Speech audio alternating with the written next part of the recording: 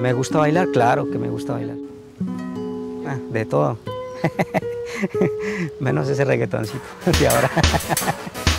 Al 2000, sí, 99, 2000, 2001 incluso.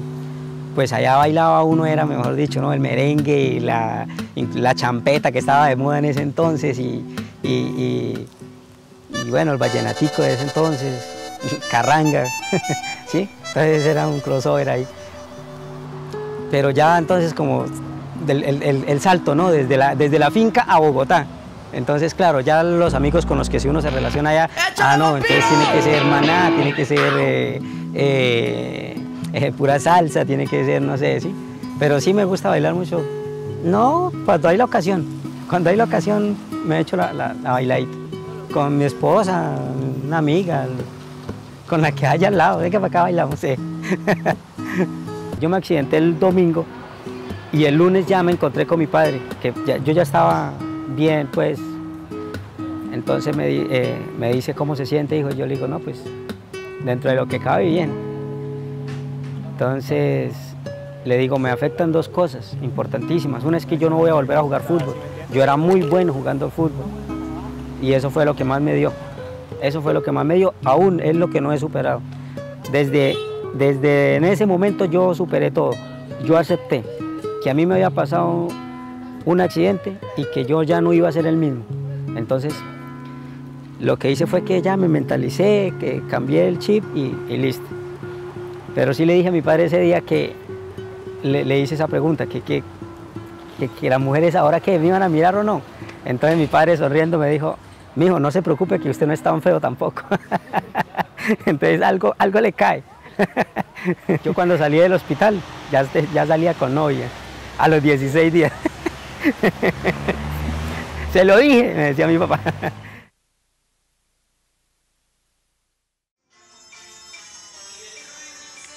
Los vallecaucanos tenemos como una pasión por esa mezcla que somos de afros, de andinos, ¿sí? y porque tenemos un pasado y una construcción muy alrededor de la música. ¿sí? Es que me gusta bailar de todo. Me gusta bailar siempre que quiere que quiere compartir con otros. ¿sí? Yo bailo, bailo porque estoy con mi hija pequeña, bailo porque estoy con mi esposa, bailo porque estoy con mis amigos, con mis amigas, bailo cada vez que haya una oportunidad de bailar. ¿Sí? De bailar, bailamos. La campaña lo que hace es promover una idea central y es que hay que acabar con las minas antipersonal en Colombia, es decir, que tenemos que llegar a convertirnos en un país libre de minas. Ese es nuestro objetivo central.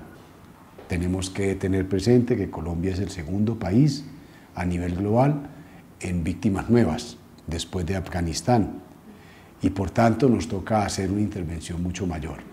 El propósito entonces es que si vamos a tener este grupo de personas allí, que pueda acudir el Centro de Memoria Histórica, registrar, compartir con ellos y darles herramientas que les permitan a ellos construir y ser parte de la construcción de memoria de lo que ha pasado en este país. Yo creo que también es generar otras ideas en, torno a lo que es bailar.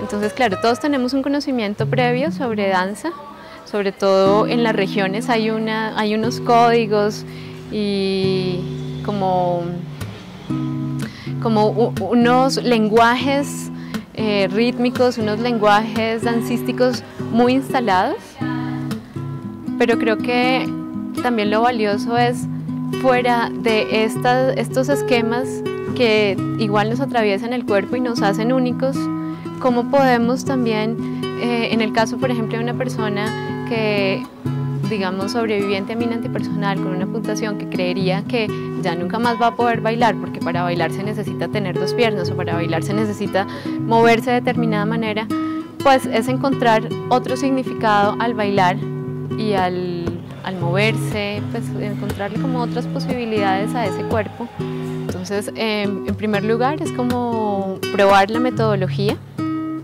esta metodología específica de atención a víctimas en situación de discapacidad, ver qué potencias tiene em, en el sentido de la atención psicosocial, pero también en el sentido de la reparación simbólica, porque al ser otra manera de reconstruir memoria y al ser un ejercicio de expresión corporal y de conexión con las posibilidades del propio cuerpo, está cuestionando también esos discursos que se han instalado allí sobre discapacidad y sobre pues limitación, sobre habilidades o incapacidades. Entonces, sobre todo me interesa que las personas que asistan a estos talleres reconozcan en este tipo de ejercicio una posibilidad para, para ver las potencias de su propio cuerpo y también cuestionar esos discursos en torno a la discapacidad y en torno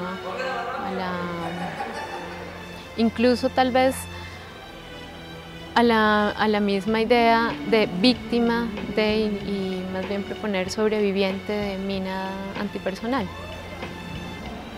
O incluso si no tuvieras control del cuerpo, hay un movimiento natural, una danza natural que es la danza de la, la respiración. Mientras estamos vivos, nos estamos moviendo.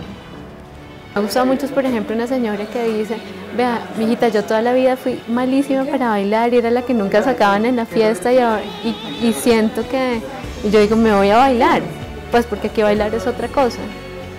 Y nadie me dice, no tengo ritmo, tengo dos piernas izquierdas, o pues, creo que, y pues por lo que a mí más me gusta la danza integrada es porque siento que la belleza del baile está es en, lo armonioso de la relación con el otro, cuando se encuentra una relación fluida con el otro, no porque yo sea muy bonito o porque sea muy simétrico, como sucede con, tradicionalmente con la danza.